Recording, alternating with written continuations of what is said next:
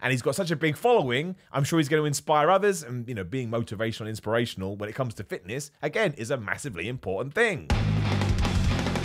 Simon Miller, the board, a hole here. I hope you join in with me now. Let me go to see a gig, and someone, oh, be your master, and then we'll go, master master.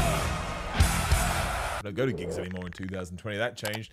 I like to think that when we start a new video, you go and you just copy me and then I don't know throw knives at the wall because you got a picture of my face up there because you secretly hate me. I don't plan this stuff. It just comes out of my brain. Right. So I love it when this happens. This is always the way. It's like a, a mountain collapsing. I had seen the PewDiePie photo. I was like, well, interesting. There is old PewDiePie. Then Greg Doucette does a video on it, and everyone goes, Miller, what do you think? I want to know what you think. Now, don't get me wrong.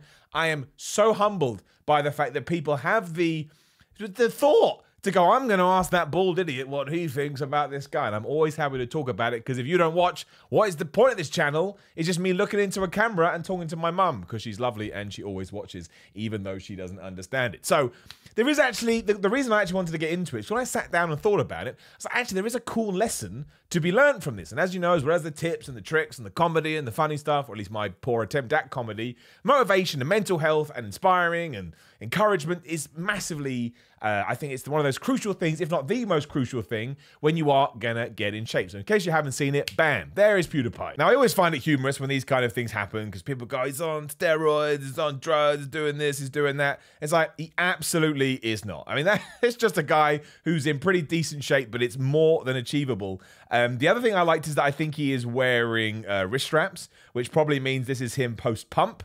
So that also would kind of tie into the to the look and feel of things. But ultimately, if you knew what PewDiePie looked like before and you know what he looks like now, you got to give him all the respect in the world. Uh, he deserves a pat on the back. He deserves your respect. Whatever word you want to use, it takes time and it takes effort and it takes dedication in order to look like that compared to where he was. So I, all those things I just said is exactly my thoughts on PewDiePie. Like hell yeah, man! And he's got such a big following. I'm sure he's going to inspire others. And you know, being motivational, and inspirational when it comes to fitness again is a massively important thing. But the so-called truth, as I've called it, you know, I'm working that YouTube game as hard as possible, is that that is a very well taken picture, and he knows that too. He's on the side so you can see more of his abs. You've got that kind of moody Batman lighting, which makes all your veins pop. As I've just said, he's probably got his pump on. He's probably just finished training, so that's going to help more.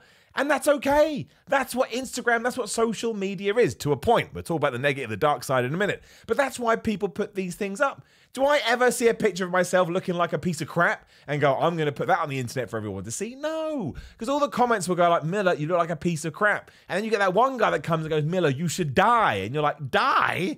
What did I ever do to you? I don't understand what is going on. So you have to remember that when you're on social media, especially when it comes to, especially when it comes to fitness, it is not the real world. Like we did a video on here called I Am Not Jacked, referring to this picture. And I stand by it right now. That is me pumped up. That is me, you know, uh, got a bunch of baby oil and whatever you want to call on me. I probably got a little bit of sweat on from doing some push ups backstage. And there's lighting and there's smoke and it's taken from a very flattering angle, you know. And some people saw that went, well, you're twice the size. Like, no, it's a, it's not a lie, but it is a, um, it's like a, it's just not the truth. It's some weird middle ground, but it's important to make you know that because you should not be chasing after. Well, look, we all chase after the dangling carrot we can never get, but you shouldn't be chasing after things that don't actually exist. You need to know the truth about this, and people need to be transparent, which is the main reason I wanted to do this video, and that's why you can never ever get sucked in when somebody is trying to sell you a product or trying to sell you some clothing or trying to sell you a supplement on the internet. They're going to go out there and they're going to get people that are not necessarily representative of forms or physiques that you can get into without who the hell knows what, right? It's just true. And they will be shot in well lit studios and they will be shot again with certain angles and certain cameras and the people will do stuff. It's not going to be somebody walks into a, a, a whatever, takes their top off, twang, because apparently I think cameras go twang because I'm living in 1822. Don't actually know when the cameras were invented. Quick side note, I know you love these. I'm terrified of cameras, like in an impressive way. How do you capture life? Like I get it with a video camera because I move in real life, so it makes sense. But I've never just stood there like this. And I'm not, I don't mean the, the technology or the science behind it. I get that. I just mean the fact it's even a thing. Blows my mind. Simon Miller, Weirdo 2020. But yeah, when you see one of these pictures and you're like, well, I've done this and I've done that, and I listen to all their fitness tips and I can't get there it's created in a fictional environment. It just is. One day, what I'm going to do is I am going to take two pictures of myself. Um, one after I've got a pump, and one before I've got a pump, and one I'm going to do in front of these lights because these lights are the most unflattering thing ever because they're lighting the green screen. I know, can't believe it, it's a green screen. And then I'm going to take another one where everything is perfect, and I will show you the difference, and it may blow your mind. And it works on me too. Of course it is. I have two specific mirrors in my house. One of which is kind of on its I can't really explain it, but you only have one light source. It's a bizarre thing, one natural light source. And it makes you look awful. It makes it really, really does make you look bad. And there's a mirror, literally, I can walk there in four steps that will make me look like I just dropped 10%, you know, dropped down to like 10, 9, 8% body fat.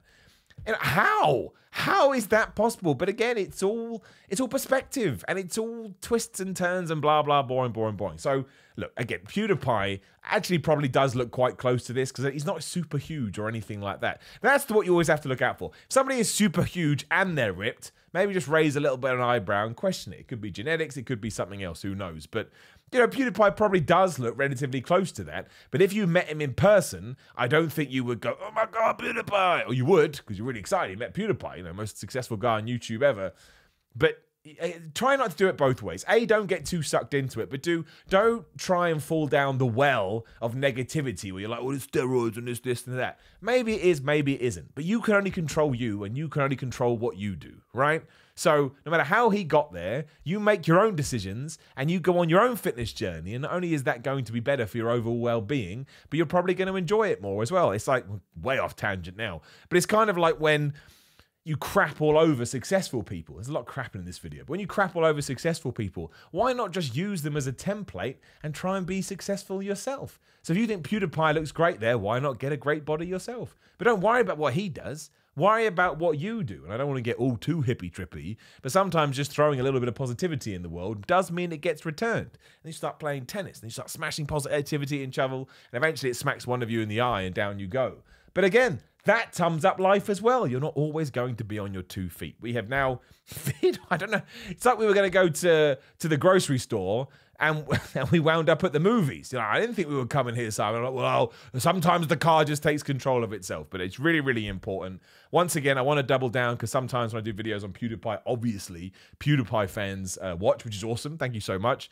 But you know, forget about content, forget about anything else. Just solely talking about his physique and his body you do have to give some respect out there. It's really difficult to change your diet, to incorporate a workout routine, to go to the gym for the first time, even if he's still, you know, working out of his garage, to take an hour, 90 minutes, two hours of your time that you obviously used to do doing something else, and then say, nope, now this is, you know, the point where I lift weights or I do cardio. These are huge shifts that take real mental strength. So I'm going to give him a salute and I'm going to say, well done. I know it means nothing coming from me. I'm just some bald a hole. That guy always tells me that when I do those should you listen to him videos. He's like, well, why should we listen to you? I'm like, if you watched 3% of my videos, you will under 100% hear me go, you shouldn't listen to me either.